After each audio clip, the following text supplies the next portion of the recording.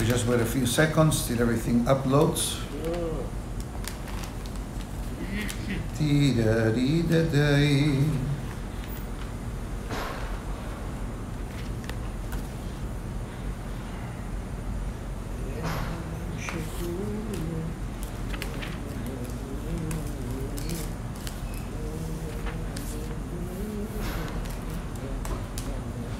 Okay.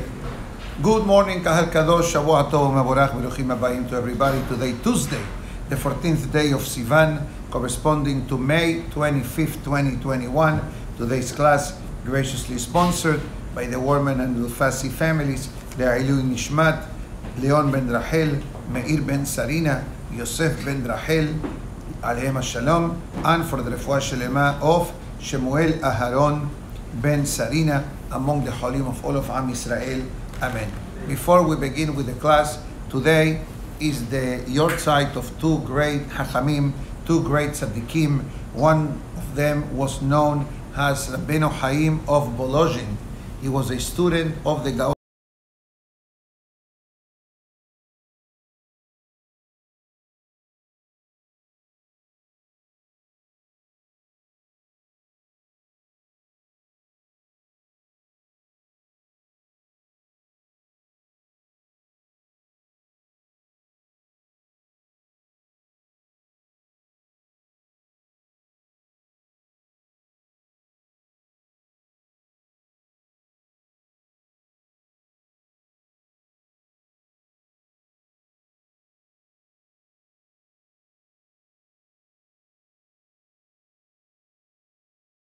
To the greatest Hachamim of that generation.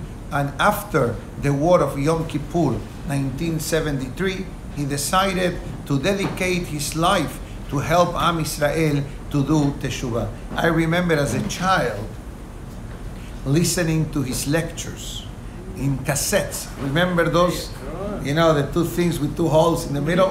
For the younger generation, maybe they don't know what I'm talking about, but cassettes the cassettes used to play, and he will give these fiery words of Torah that will shake the soul of the person, that will shake the wall of the uh, the neshama. And Baruch Hashem, he responsible for thousands or for thousands of people to do in Teshuvah. And Be'ezat Hashem, Iratzon, that the zachut of these two tzaddikim obviously gives us the hizuk uh, in these very days uh, right after the celebration of uh, Shavuot. Going back to the Bihaim uh, there is a concept that I read, uh, and it's a known fact attributed to him, and this is one of the prayers that I say on a regular basis, which is the prayers about suffering. That there is a prayer about suffering. And basically, what the prayer says that a person understands that the suffering of the person and whatever comes across the person's life is earmarked from Akadosh Baruch Hu. That's why he says a very known segula, and it says that if a person finds themselves in challenging situations, in difficult moments, he should remember the three magic words: "En od milevado." There is nothing but Hakadosh Baruch Hu, and he writes in the Nefesh Haim that when it comes specifically to the prayer of Alenu Leshabeach, he says at the end of the end, first paragraph, וידעת היום השבותה לבביך, כי השם הוא אלוקים בשמיים ממעל ועל הארץ מתחת אין עוד, a person should be מכוון on this particular concept. That everything that comes across the life of the person, that a person experiences through life, is directly from Akadosh Baruch Hu. And one, once a person comes not to know this, but actually to internalize this concept that Akadosh Baruch Hu is the one who runs the world and our life, it gives the person a certain a positive outlook in life. Additionally, he says, also in the same book, Nefesh Haim, that a person who wants to create that the power of prayers should be uh, effective in the person's life, when especially when it comes to the Amidah, he says, and I, I hope that he understood this correctly. He says, don't just read, just put your finger under each word. Ata, Honen, Leadam, Da'at. Now, that's one way to understand. Another way to understand, that's much deeper, it says trace the letters. If it's Aleph, that will take a very long time. So let's concentrate on placing the finger uh-huh. underneath each word. And sometimes you see people who do this. That when they pray the Amidah, they don't just look, they, they point their finger, like in the Kitab, in the Talmud Torah, letter, Kamatz, Aleph, A. So you do the same thing. Don't do that. But basically, Ata, Honen, again, Ata, Honen, and Da. And my lips are moving faster than my finger. So it says each word, Ata, Honen, Leadam, Da'at. Hashivenu, Avinu, Letoratecha. These are some of the things written by the great Rabbeinu Chaim Mivolozhin, the student of the Gaon of Vilna. זכותם יגן עלינו, אמן. ברוך אתה אדוני אלוהינו מלך העולם שהכל נהיה בדברו. Amen. Okay. Uh, interesting enough, the Zohar of today is actually a continuation from last week's Torah portion. In last week's Torah portion, the longest parasha of the Sefer, how did we finish the parasha? Discussing all about the Nesi'im, which is familiar to Torah reading, because this is also the reading of Hanukkah. Every day of Hanukkah, we read from the Nesi'im like we read last Shabbat. But in the last day of Hanukkah, known in Jewish law as Zot Hanukkah HaMizbeach, the reading of Hanukkah does not finish with the end of the Perashah Naso, but automatically we jump into Perashah Beha'alotecha. And we go through Perashat Beha'alotecha, the first few Pesukim, when the Torah describes the building of the menorah, Vayas ken Aharon אל מול פני המנורה, בזה מעשה המנורה, כמראה אשר הראה השם את משה, Ken Asa et HaMenorah. We already gave a shi'ur on the menorah proper, so we didn't have to go through all the details, but we know who was in charge of lighting the menorah every day. Aharon Kohen. So comes the Zohar Kadosh, and it says as follows. The actions of Aharon Kohen lighting the menorah, this was a sacrifice, so to speak, not an animal type of offering, the way we usually relate to korbanot, to korbanot, but this was basically the offering of Aharon. It's like I ask you, what can you offer to the synagogue, for example, right? So you tell me, Rabbi, anyone who needs an apartment next to the shul, let them talk to me. I just give you a free advertisement, more valuable than Super Bowl 30 second commercial, right? Because that's one day only. TrueITorah.com, but we're going to keep your identity secret. Anybody interested, talk to me. I'll give you his name and number. Thank you. Now, of course, you like it? Beautiful. Hazak. Anyways, continues and it says that offering is not always connected to a sacrifice. You know, what do you bring on the table, for example? That's the idea. So the Zohar Kadosh explains that this was not only representing Aharon Kohen and the Kohanim, but also this was a tribute to the tribe of Levi.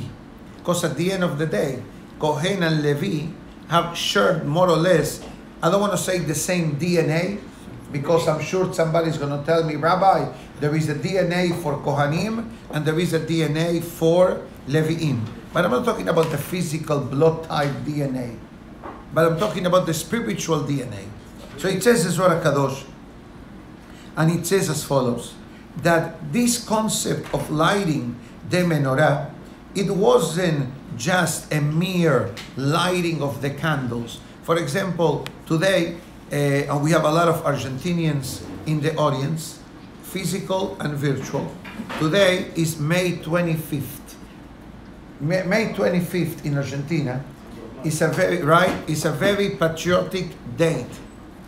Literally, is a very patriotic day. Like American has Memorial Day and Independence Day. So what do we did in, in, in Argentina back in the day, which I see some classmates here with me, what did we used to do?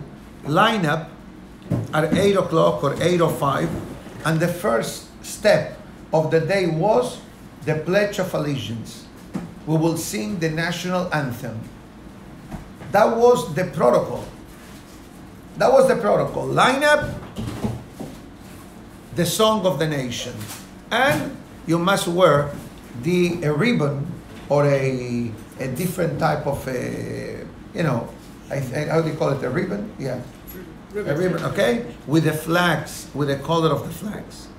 This was, yani, to do, to show our uh, national pride and thankfulness to the government and to the nation that welcomed the Jewish people back uh, in the day. I'm not sure if this concept still applies today, but as a child, I remember that this was our daily protocol.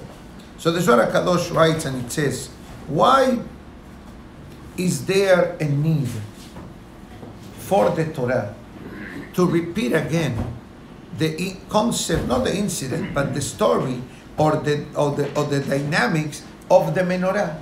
This was already discussed back in Sefer Shemot. Right, Terumah, Tetzaveh, Kitisa, Vayakhel, Pekudei, Perashiot that deal with the building of the Mishkan.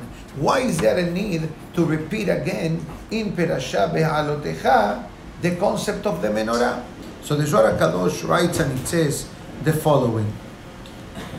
There are two aspects to this concept. Number one, the feelings of Aharon a Kohen. Imagine yourself, the inauguration of the Mishkan takes place.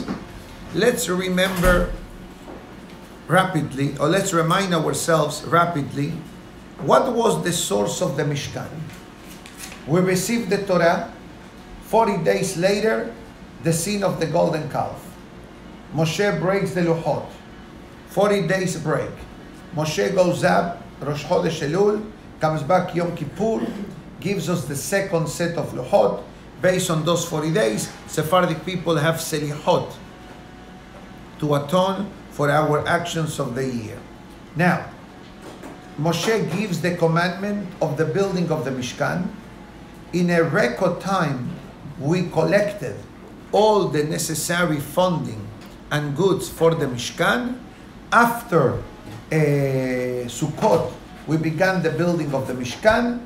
The Mishkan finished on the 25th day of Kislev, which later on will be known as the holiday of Hanukkah. And the Mishkan was inaugurated Rosh Chodesh Nisan. That was the very same day that the sons of Aharon, Nadav and Avihu, regretfully passed away. That is the very same day that the first offering of Nachshon ben Aminadab takes place, and consequently, every tribe offers a korban. And now we have Aharon Kohen, the brother of Moshe and Miriam, watching from the sidelines. And he sees that his name is not being called. What do you think, Rashi says, goes through the mind of Aharon a Kohen? Moshe Aharon says, because of my intervention and involvement in the sin of the golden calf, so God is penalizing me. And therefore, I don't have the merit of offering the sacrifices in the first 12 days of the inauguration of the Mishkan. This is what's going through the mind, excuse me, of Aharon Kohen. God obviously knows this and tells Aharon, don't worry, your zechut is greater than their zechut. Their day of shining or the day that the spotlight was on top of them was one day. The day that that particular tribe offered the korban. But your day will be every day of the lighting of the menorah. So historically speaking, even though we were given the commandment of the one of the main components of the Mishkan being the menorah, but then the menorah was not lit. The menorah was built. But when did the actual lighting of the menorah, so to speak, took place based on the on the dynamics of the Pesukim? In this week's Torah portion.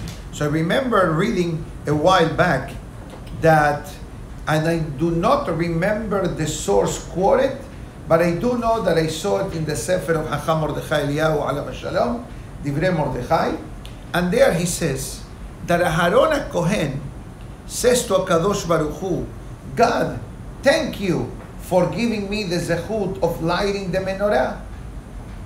But it says, but what's going to be after the Mishkan is gone? It says you're going to have the Bet HaMikdash. And what's going to be after the Mikdash? What's going to be? It says, don't worry. You're going to have the mitzvah of Hanukkah. Hanukkah. Other opinion says that God says to Aharon, do not worry. After the destruction of the Bet HaMikdash, we're going to have two mitzvot connecting to the menorah. Shabbat candles and Hanukkah. I always knew, and I'm sure everybody agrees, that Hanukkah and the lighting of the menorah in the Bet HaMikdash are very similar concepts. The Hiddush that he writes is that this includes also the candle lighting of Erev Shabbat, which is a takanat hachamim, that the wife lights the candle lichbot Shabbat Kodesh. And in part makes sense. What is the idea of the menorah? To bring light. What is the idea of Shabbat candle lighting? To bring light. So you didn't have to wait once a year till Hanukkah happens to be, and then you remember, oh yeah, miracle of Hanukkah that happened over 2200 years ago.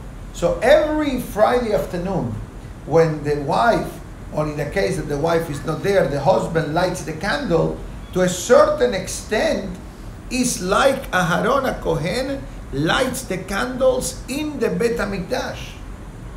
And that's why when the, the candle lighting time arrives, a person should light the candles on time, but everyone agrees that what is Hachamim tell us clearly that the candle lighting time is an etratzon. Etratzon means a moment of goodwill, that the gates of heaven are widely open. And that's why the Ben Ish writes that a husband should train to put tzedakah next to the kuppah, next to the candles, so the wife puts tzedakah before candle lighting, and everybody knows that there is a special prayer that the wife usually recites, found in the Aneni book, or if you go to Israel or New York and you ask, you, you get a beautiful poster, right, or a, or a frame that says the Berachah of candle lighting, what else do you have? You have a special Iratzon. That the wife prays for the husband, prays for the children, prays for Am Israel. That's where the famous song Bezakeni, Bezakeni legadel banim umne. You ever heard of this song from your grandkids? I'm sure you did. I'm sure you did. And they know it. So tell me, sing me Bezakeni. Today, with the popularity of Jewish music, you gotta ask which version. It happened to me the other day.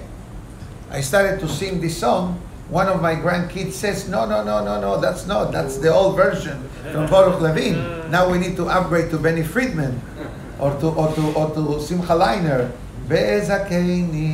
legade. You see, I'm giving you three versions. This is the third version by I think Baruch Levine, wonderful composer of Jewish music. And what does it say that song? God, give me the merit, give me the honor, give me the privilege, the privilege to raise my children and grandchildren in the beautiful ways of the Torah, to serve Hashem properly.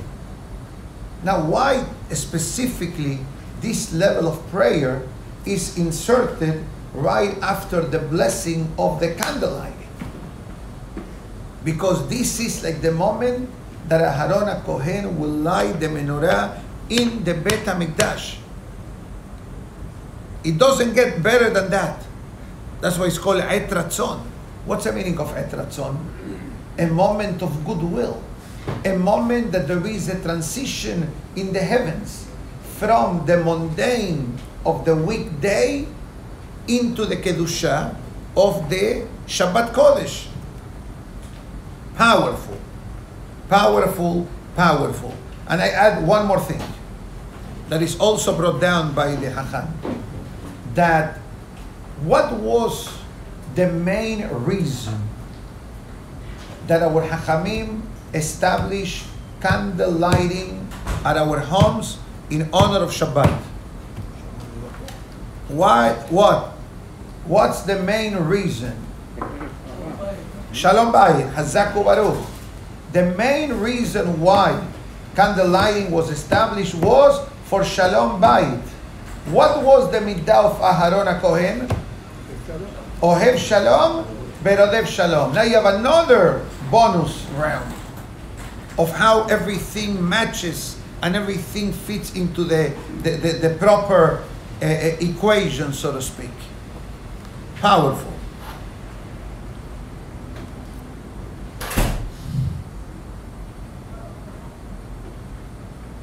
Somebody asked the other day, Rabbi, why we have so many supervisions of kashrut in the world? Good question. Couldn't be one uniform, unified? So the short answer is no. Different costumes, different traditions, different sources, different standards. But interesting enough, the Zohar Kadosh writes that the menorah by itself, and I discussed this in the past, is actually the, cor- the combination of the entire week. Correct? Three poles on the right, three poles on the left. The center pole is the day of Shabbat. If you have to read the menorah, you should read it. Wednesday, Thursday, Friday, Shabbat, Sunday, Monday, Tuesday. That's how it works. That's how it works. Take, take, take it from me. That's how it works. Why? The Halacha writes that someone who didn't do Havdalah on Mosai Shabbat, you can do it till when? Tuesday night. Till Tuesday night. Why till Tuesday night? Because till Tuesday night, we still are drawing the beracha of last Shabbat. Wednesday is a switch in the week, Kabbalistically speaking, and now we are absorbing the sanctity of the upcoming Shabbat. And if you look in the Siddur of the Ben Ish Hai, that it brings down this concept, in many Siddurim, it says, for example, today, Hayom Yom Shelishi Beshabbat Kodesh. Today is Tuesday of Shabbat. Now, why do I need to say Shabbat on Tuesday? I'll make the question even bigger. Sunday morning, you're still digesting the cholent or the melave malka, and you say, Hayom Yom Echad Beshabbat Kodesh. Stand شوية. Relax. You just finished Shabbat. You still have to do the dishes, clean up the house, and you're already saying, oh, Shabbat is coming. This reminds me of Shammai in the Talmud. The Talmud tells us that Shammai will go to the supermarket Sunday morning to see what he finds special in honor of Shabbat. And this was before the time of having freezers and, and, and Sub-Zeros and Bosch and Electrolux dual doors, double doors. This is how was Shammai. But guess what? The next morning, Tuesday, Monday, he will go again. Maybe something new came. Hmm. And every day he will go to do something what Shabbat Kodesh. So Shabbat and the person really cannot be separated. Shabbat is with us constantly. Not only that, in one of the classes that we gave back at the end of Sefer Shemot, I think that we quoted a verse from the Zohar that says that all the blessing of the week emanates from the Shabbat. And that's why a person needs to be always Mosif, Tosefet Shabbat. Tosefet Shabbat means expand a bit the Shabbat. Receive it a few moments before and don't rush to run away from it. Extend it a bit. Just a few moments, could be just a few minutes. And that brings great to'ilet to the life of the person. So the Zohar Kadosh writes and it says that also Bnei Israel had 12 Shevatim. And the way they were lined up, the Shevatim were three in the front, three in the back, three on the left, three on the right. And they had strategic positions, and each one has a different flag, and every one has a different symbol, and every one has a different color. And, and yet, they are all united for one goal to connect with Hashem. Like the Hafetz Haim was asked the same question, but with much more details. And the Hafetz Haim lived almost 100 years ago, give or take. And he was asked, why you have to have so many partitions in Am Israel? You have Sephardic, you have Ashkenazic. Now, Ashkenazic what? Sephard or Ashkenaz? Hasidic, Yeshivish. Hasidic, which group? Okay? Now you have Sephardic. Sephardic, what type? Sephardic from Morocco? From which part of Morocco? Tetuan, Casablanca, Marrakesh, Fez. Oh, from Syria. From what Syria? Baksita or Jalemiya? Halab or Sham? Understand? Oh, from Yemen. From Baladi or what? Persian. Are they Sephardic or they are Persian, so to speak? I hope no one takes offense. Okay? So now, the Hafetz Haim, when he heard this question, he says as follows The Jewish people are called the army of Hashem in the world, in a spiritual way. The opposite. The Torah tells us that before you engage in war, try to make peace. Regretfully, with terrorism, they understand the opposite. But you know why? Because that is their DNA. Their DNA of terrorism from the Torah early days is violence. What happened with Esav? Al harbecha tihye. You will live to the sword. So their DNA is violence. That's why they are prone to violence. And the Jewish people are completely the opposite. ויצאת אליה לשלום, the pasuk says. When you're going to go to wage a war, bekarata aleha le. Try to make peace. Because in war, there, even though there is the winning nation and the losing nation, but no one guarantees that there will not be casualties in a war. Correct? And people that get maimed and, and handicapped and wounded and widows and orphans so the Torah promotes the concept of peace. So it says Hafetz Haim, in an army, you have different levels.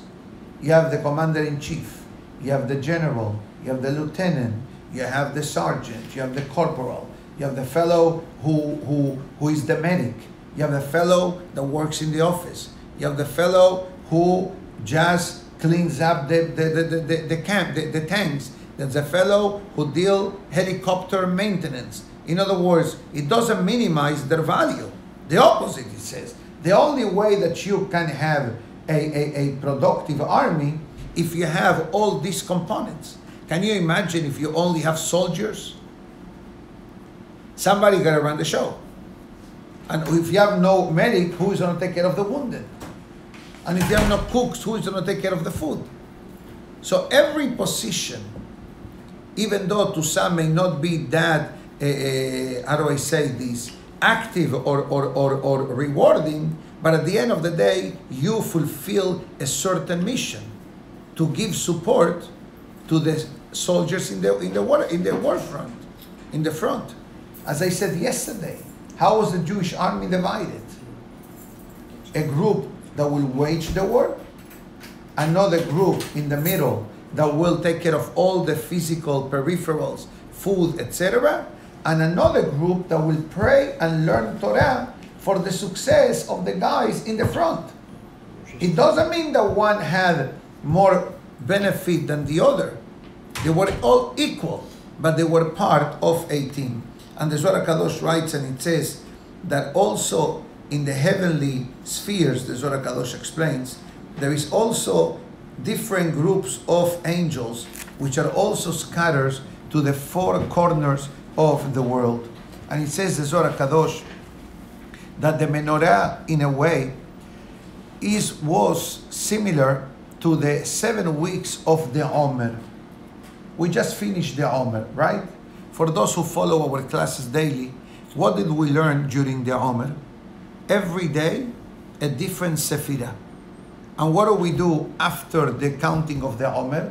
We read the Lamenatzeach, chapter 67, in the shape of the menorah. And the question is, why? Although I answered the question then, I'll give you a different answer. The Zohar Kadosh explains that the seven branches of the menorah, each one represents a different sephirah, a different emotional attribute of how godliness is revealed into the world. Meaning to say, one pole of the menorah, we can call it hesed, kindness, benevolence. The next one, we call it gevura, restraint, self-control, etc. And we go on week after week of the Omer. Like in the nights of Sukkot, we have the seven Ushpizin. In the weeks of the Omer, we have the seven Ushpizin for seven days. The Zohar Kadosh goes further and it says that one of the of the ultimate blessings that the menorah brought down to Am Israel was the concept of happiness into Am Israel. The light will bring happiness. How somber the person is when he's surrounded by darkness, and how happy the person becomes when he's surrounded by light. Even occasionally, in America or in South America or anywhere in the world, when there is an outage, right? We have hurricanes, correct? And many, many times, what happens when a hurricane comes? No electricity. Remember that? No air conditioning.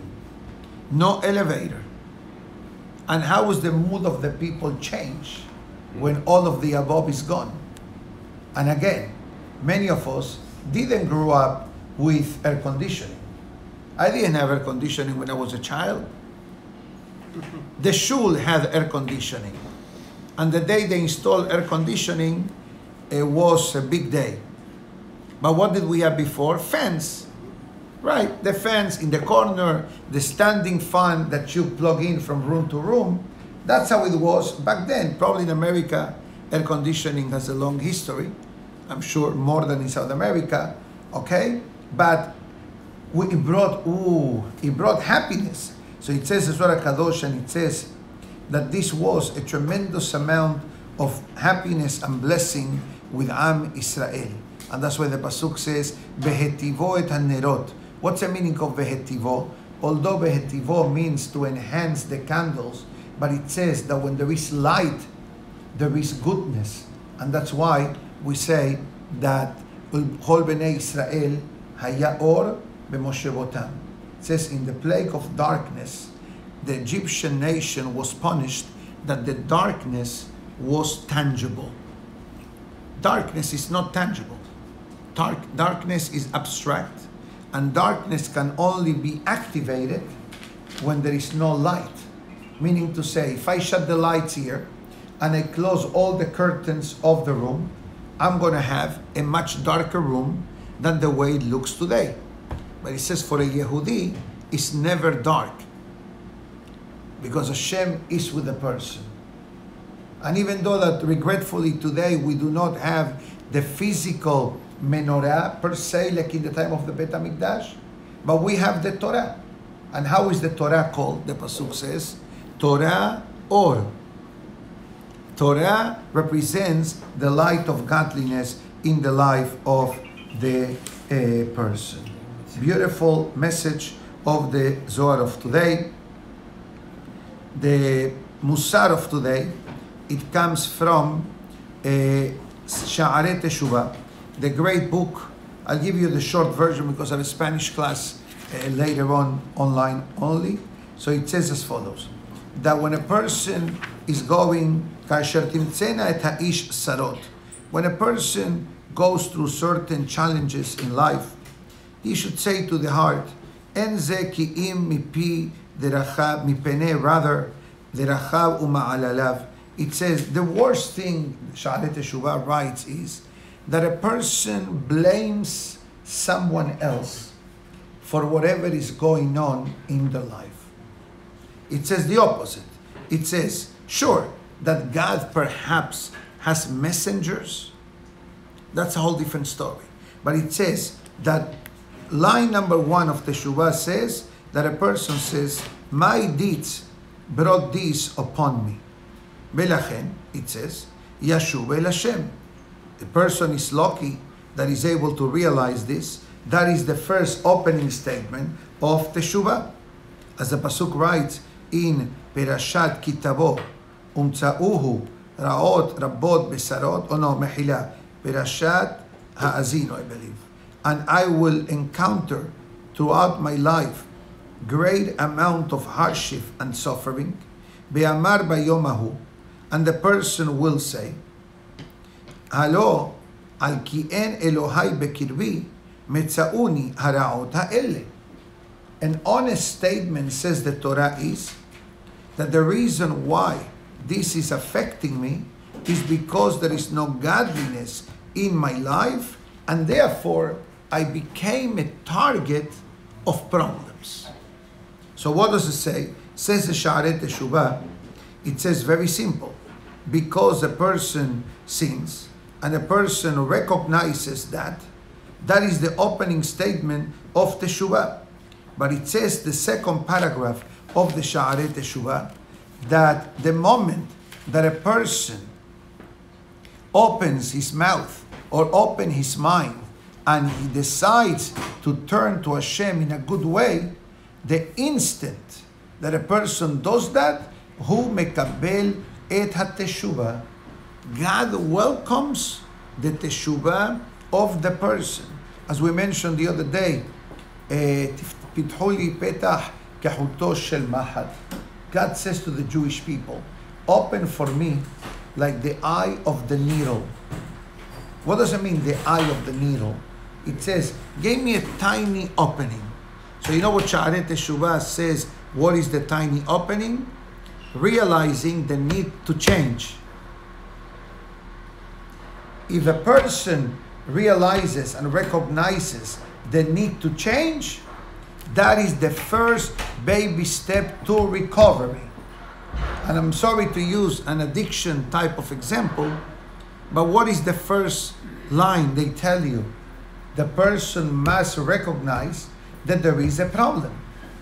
But if a person doesn't recognize there is a problem and always tries to uh, justify why this happened, why that happened, how teshuvah will be possible in such a case. So Be'ezat Hashem uh, will take to heart the beautiful words of the Zohar of today and especially the last few words of the great uh, Rabbeinu Yonah uh, Teshuvah to, to continue in our beautiful relationship uh, with HaKadosh Baruch Hu. And I say the following, that even, even if a person occasionally has a hiccup, that doesn't mean that we throw in the towel. David HaMelech writes in the book of Tehillim that a righteous falls seven times. But what's the next word that comes out of it? Vakam. He's able to get up. The fact that a person is able to get up means a person recognizes the need to change. God says, not a problem. Continue. It's a slip up. But we don't just throw in the towel. My dear friends, we say Tizkela Mitzvot to our sponsors and to everyone. Have a great day, everybody. Baruch Adonai Le'olam. Amen ve'amen.